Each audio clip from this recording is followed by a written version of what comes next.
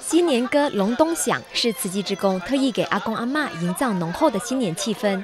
来到双溪毛诺麻风病院施工要趁过年前给老人家一剪头发除了形象清新短发让生活自理不便的阿公阿妈舒服又方便。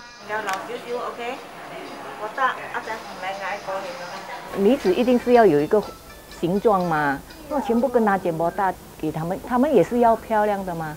也是应该给他们美美的头发、胡须、指甲，志工都细心修剪，看不出他们当中不少成员还是家境优渥的实业家夫人。我们做一点动作，可以给他们这样开心，是很值得啦，我是觉得很值得啦，对不对？因为钱也是不能买那种快乐，对不对？因为我们都是在吃，都是比较放下身段咯，要学习咯。